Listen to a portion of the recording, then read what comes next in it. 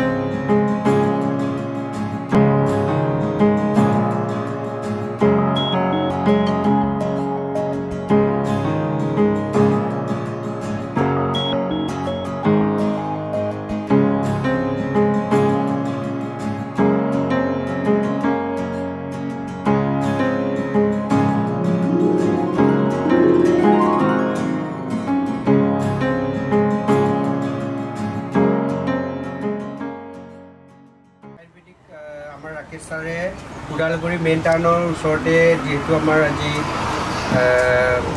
আমাৰ দোকান এটা অপেনিং কৰিছে। অঁ চাহজি আয়ুৰ্বেদা এটা দোকান নামাকৰণ কৰি কিনি আৰু তাতে আমাৰ কিছুমান কনচাপ্টছৰ প্ৰডাক্টিভিটিখিনি হেৰি কৰা আছে ইয়াতে মানে ক্ৰেতাৰ ওপৰত মানে এৰি দিয়া হ'ব বিক্ৰী কৰিবৰ কাৰণে। তো আজি তাতে ইয়াতে জৈৱ পাতিছে হেৰি কৰিছে আমাকো গুৱাহাটী অফিচৰ পৰা মাতিছে আমি আহিছোঁ। আৰু আজি দিনটো ছাৰৰ কাৰণে সঁচাকৈ বহুত স্পেচিয়েল দিন চাগে। আৰু আজি ছাৰ দোকানটো অপেনিং কৰি আপোনাৰ অনুভৱ?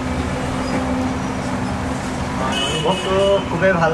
ইমান দিন যিহেতু আমাৰ চিনাপছৰ লগত জড়িত হৈ আছোঁ। আৰু আমি একেবাৰে মেডিচিনৰ লগত মানে পানীৰ লগত মিলি যোৱাহে লৈ গৈছে আৰু।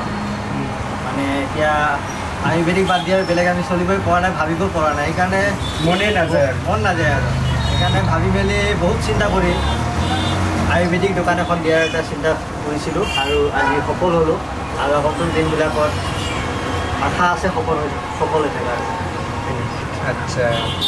আৰু আজিতো যিহেতু প্ৰথম দিন নহয় জানো। মানুহবিলাকে চাইছে প্ৰডাক্টিভিটিবিলাক আৰু চাই কিনি হয়তো বাৰু তেনেকুৱা কিছুমানে কিনিও লৈছে। আৰু ভালেই হ'ব ভৱিষ্যত। আৰু যিহেতু এটা বিজনেছ ষ্টাৰ্ট আপ কৰিবৰ কাৰণে যিমান সময় লাগে আৰু ঠিক তেনেকৈ আৰু চলাওঁতেও সময় লাগে ধৈৰ্য সহকাৰে আমি কৰিব লাগে।